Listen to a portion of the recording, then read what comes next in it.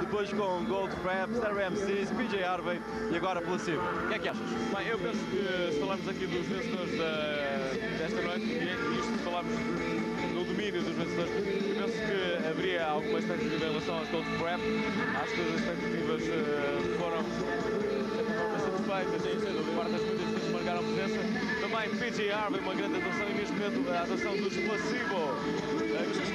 Não esquecer dos Stereo MCs, eles que demonstraram que estão uh, bem vivos e recomendam-se, não achas? Achas? Bom, nós vamos ter a oportunidade de escutar uh, três uh, músicas em direto dos Placebo, a saber, a saber, Without You, I'm Nothing, Slave to the Age, Special Guest, a primeira do álbum Slave to the Age, Special Guest, como é que chama o último álbum originais dos, dos Placebo? Recordas-te? o último álbum originais dos Placebo, como é que chama? Ah, chama-se Black Market Music. É isso. Uh, eu penso que os Placebo estão a conquistar por completo o público, é só repararem na Every, Me, incluído no álbum Without You, I'm Nothing. Bom, eu recordo só amanhã, e enquanto uh, há este silêncio, a presença de UB40, de Red Zone, Jorge Palma, Case Choice e 07. Não esqueçam, amanhã, a partir das 2 da tarde, vamos ter aqui Flash uh, News. Flash News. Contigo, Alvin, o homem da notícia. O homem da notícia. Ok, vamos ficar com o Placebo. Nós já voltamos para finalizar esta nossa intervenção uh, na primeira noite do Festival Sudoeste. Até já.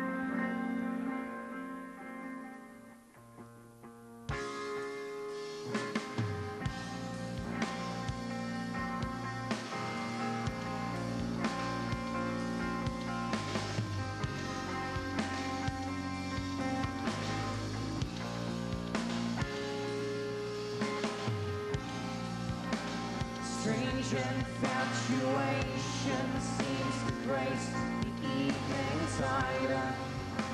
I'll take it by your side.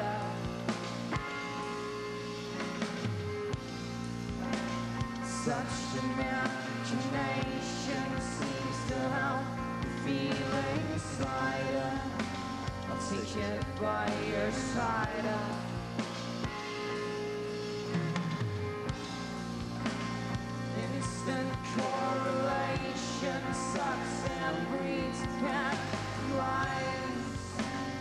to get by your side.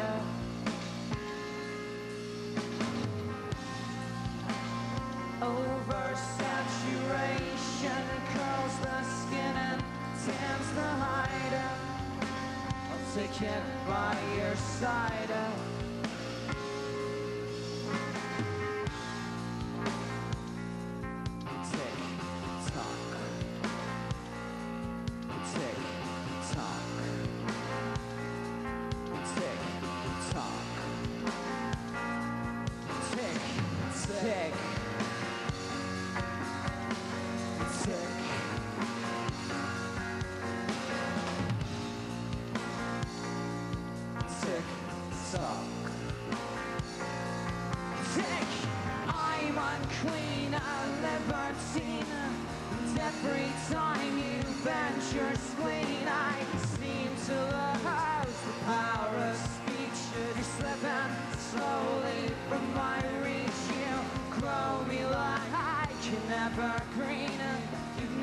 seen the light.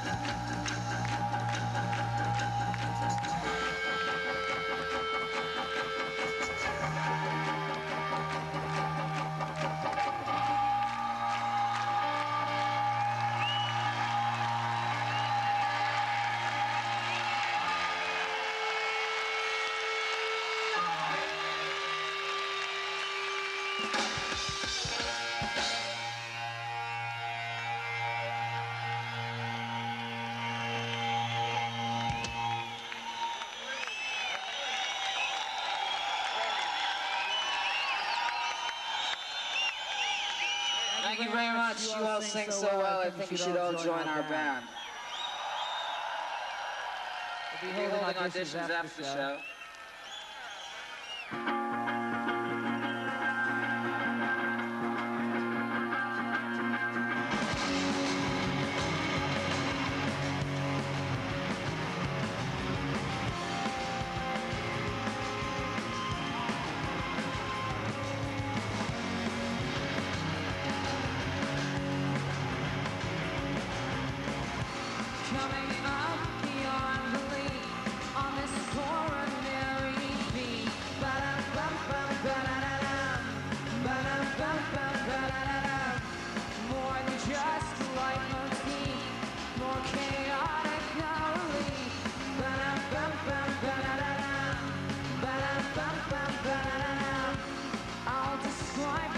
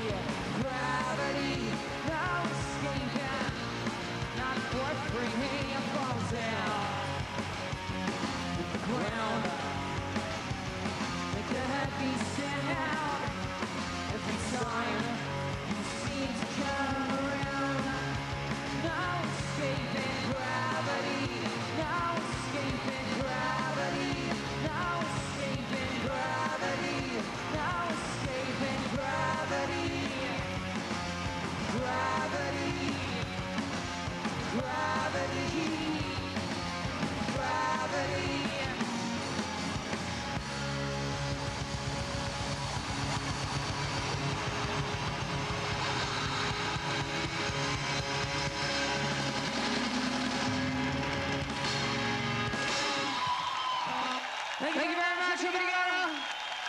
We'll be back in a few minutes.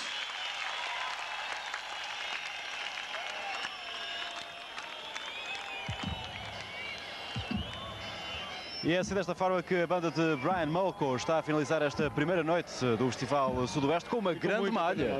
Não é? Aliás, eu não sabia que este tema, que é de resto a proposta corrente do álbum Black Market Music, tivesse o sucesso que teve. Aliás, eu penso que foi o, o tema mais aplaudido de todos aqueles que tocaram o explosivo até agora. Sem Bom, dúvida, sem dúvida. Bom, mas parece que ainda vem aí o encore. Infelizmente não podemos transmitir mais imagens eh, do concerto do É Explosivo. uma pena. Amanhã vamos voltar. estivéssemos aqui a falar enquanto estamos lá. Olha, é? olha, podemos falar eh, sobre, podemos dissertar sobre tudo e mais alguma coisa. Falar um bocadinho e tal. Vocês iam vendo os temas. Eu acho que não podemos, acho que podemos só dizer que amanhã voltamos. Aliás, tu voltarás logo às duas e um quarto para um Flash News, não é? Aham, Sim, do- tudo sobre eh, o segundo dia do Festival eh, Sudoeste. Não percam, um dia que será marcado sem dúvida com a presença dos UB40, ainda dos Dread Zone. E não esqueçam, a partir das seis e meia, a transmissão na íntegra do concerto dos irlandeses Ash. E já que falamos deles também, eh, do concerto dos Dread Zone, mais, aliás, Dread Zone não, dos Zero Seven, mais eh, lá para a noite. Por enquanto. A não esquecer por- também que o curto-circuito voltará uh, a ter a sua emissão, mas desta vez amanhã às quatro e meia, portanto substancialmente mais cedo. Uh, infelizmente só vamos ter duas horas de emissão em direto com o curto-circuito. Fiquem bem, tchau, até amanhã. Amanhã. Nós vamos ficar aqui vestir, é placebo. Pois.